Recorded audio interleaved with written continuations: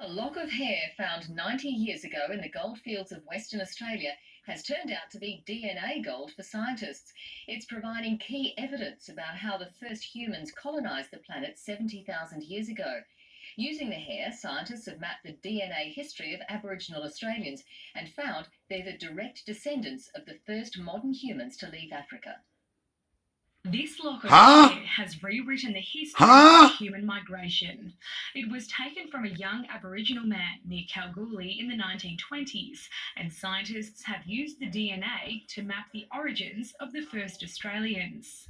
we find, in fact, evidence that Aboriginal Australians diversified from other populations much, much earlier than what people previously thought, about 70,000 years ago. The research, published in the international journal Science, debunks the common theory that all modern humans migrated in a single wave out of Africa.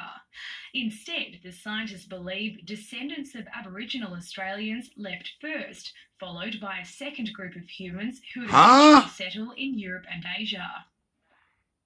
So, where the Aborigines came from? Huh?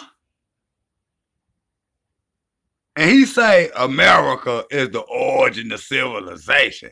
Now these people all in the lab doing the research, doing the work. And he want to tell you that he's some kind of individual aborigine that just growed up out the ground in America. Listen.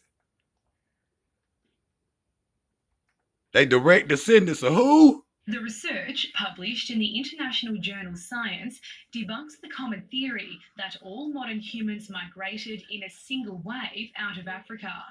Instead, the scientists believe descendants of Aboriginal Australians left first, followed by a second group of humans who would eventually settle See, they left first.